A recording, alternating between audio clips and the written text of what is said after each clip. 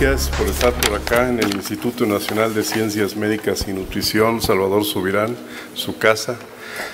Bienvenidos todos ustedes. Veo aquí con gusto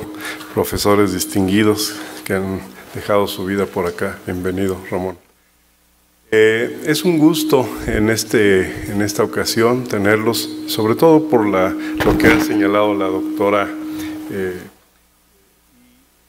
la doctora Coloca, en relación con los aspectos éticos del manejo del dolor. Lo más relevante de este asunto y de lo más importante para la práctica de la medicina actual en los términos que nos manejamos hoy día dentro de las instituciones médicas y muy especialmente que es el espíritu de nuestro director general, el doctor David Kersenovich, es la seguridad del paciente.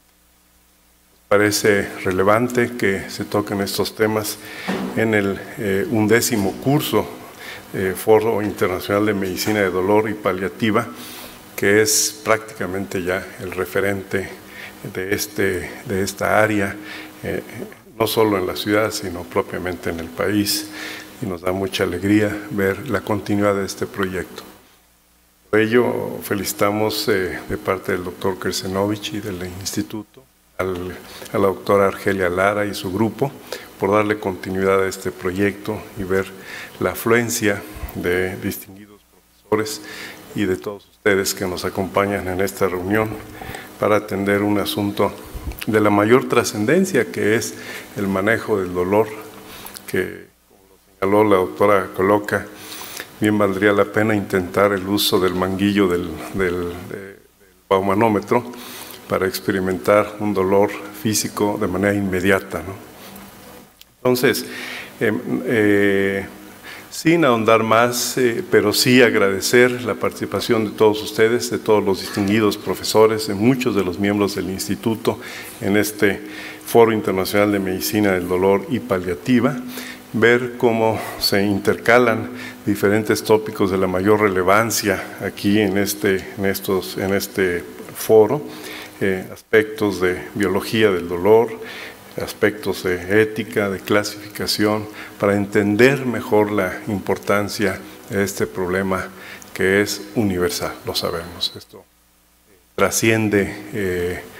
políticas, eh, creencias religiosas, preferencias de cualquier índole y a todos en algún momento nos puede llegar esto como un síntoma importante. Entonces agradezco a todos ustedes, eh, en nombre del doctor David Kersenovich, nuestro director general, y eh, siendo las nueve y siete, no me, no me pasé más que dos minutos, Argelia, eh, declaramos formalmente inaugurado este undécimo curso, Foro Internacional de Medicina del Dolor y Paliativa, esperando que los trabajos de esta reunión de casi cuatro días sea exitosa y les dé muchas más herramientas para su práctica profesional y poder ayudar a nuestros pacientes. Muchas gracias y que este, esta reunión sea exitosa para todos ustedes. Felicidades.